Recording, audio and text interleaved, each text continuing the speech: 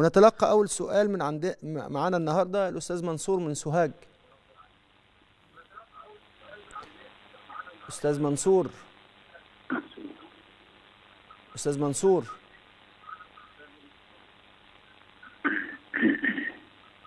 أس- أستاذ منصور أستاذ منصور لو سمحت اتصل بينا مرة تانية لو تكرمت.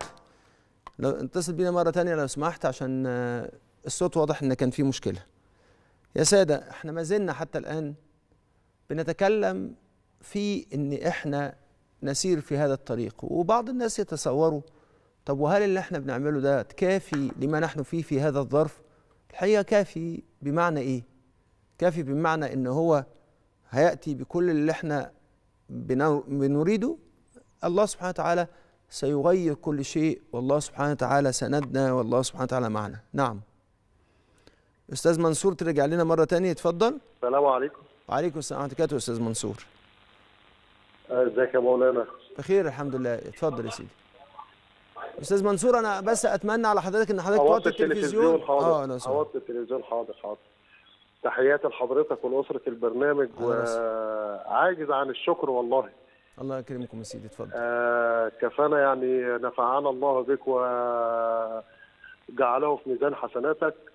بس أنا كان ليا طلب عند حضرتك لأن اتفضل. إحنا بنحب نشوفك جدا يعني ودائما ودايما منورنا كده وبنشوفك وأولاد الصغيرين بيشوفوك. الله يرضى عنك يا سيدي ما تحرمش. فنتمنى بس من حضرتك هو طلبين صغيرين. اتفضل. ان إحنا يعني أنا بعاني في يعني من من حاجات آه، بنشوفها في الشارع على طول وبنشوفها في مجتمعنا. ال- الشباب في الشارع آه، لا تعلم معنى الجيرة.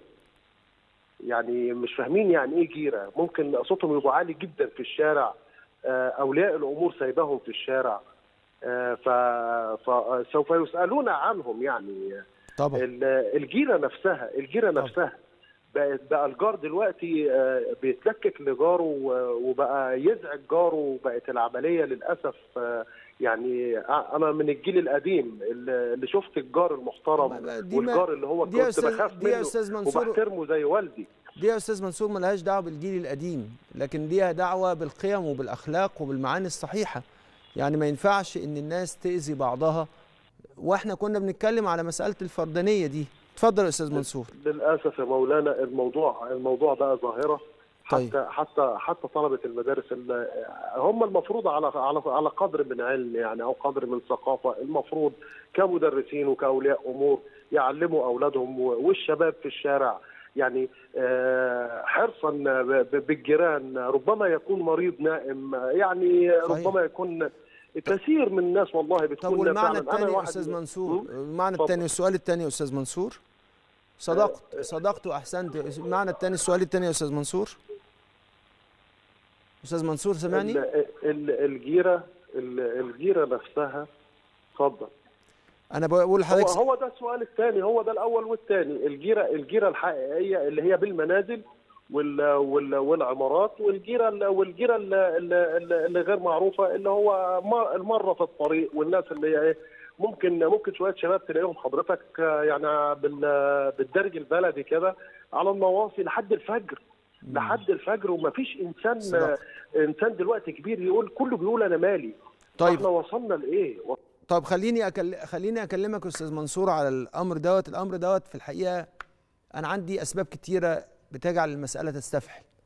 اولا إحنا عندنا حصل تغير. السمات اللي أنا قلتها اللي هي السمات السبعة دي منها سمة الفردانية. الفردانية خلت الناس ما يعرفوش جيرانهم مين. بما انهم ما يعرفوش جيرانهم ما يعرفوش كمان أحوال جيرانهم. وبما إن هم ما يعرفوش أحوال جيرانهم ما عرفوش إن الطريق العام والأشياء العامة هي عامة لينا كلنا. لأن هم ما بقوش يعرفوا جيرانهم ولا يعرفوا أحوال جيرانهم ولا يعرفوا مين. فأصبح وكأنه بيمارس في الشارع كأن الشارع ملكه. ملكه ليه؟ لأن هو لا يرى فكرة الشأن العام أو الشيء العام. أضف إلى ذلك شيء أسوأ وهو تعود الناس على العيش الافتراضي العيش في ال social media. فبقى الناس لما بينزلوا للشوارع هم متعودين إن هم بيعملوا اللي هم عايزينه زي ما بيعملوا اللي هم عايزينه في ال social media حتى لو إن هم أذوا الناس في أعراضهم أو أذوا الناس في في إن هم يرسلوا أخبار لم يتأكدوا منها فهو كمان بيمارس في في في, في الساحة العامة وفي المكان العام ممارسة فردانية. فهو بدل هو مبسوط من حاجة وشايف إن هو ده بيعيشه وده يخليه يقع في حاجتين. أنا شايف إن كل ما الإنسان يأذي جاره وكل ما الإنسان يمارس ممارسة فردانية لا يراعي فيها الناس ده بينقص من إيمانه لأن حضرة النبي صلى الله عليه وسلم قال قال بشكل واضح لا يؤمن أحدكم حتى يحب لأخيه ما يحب لنفسه. هنا ما حدش يجي يقول له ما أنا بحب لنفسي إن الناس تبقى فيها دوشة. لا ده معناه أنت بتحب لنفسك إيه؟ بتحب لنفسك الراحة وعدم الأذى؟ يبقى لازم تحب لأخوك عدم الأذى. ده معنى حديث رسول الله صلى الله عليه وسلم. وليس معنى حديث إن أنت لو موافق على إنك أنت تعيش في ضجيج تعيش الآخرين في ضجيج. لا المعنى الصحيح إن أنت لا كما لا تحب الأذى لنفسك هو لا يحب الأذى لنفسه. وهنعمل إيه لما يجي ربنا يوقفنا ويسألنا عن جيراننا اللي حضرة النبي ظل جبريل يوصيه بالجار حتى ظن حتى ظن أنه يورثه؟ الشارع العام فيه جيرة برضه.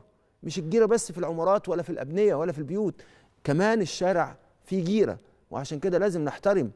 وكمان بنضيف إليه كمان تحذير رسول الله صلى الله عليه وسلم. أعطوا الطريق الطريق حقه. وعشان كده إحنا محاطين بمراعاة للناس فلازم نتقي الله سبحانه وتعالى ونعلم أولادنا ده ونعيش ده بشكل واضح. نعم.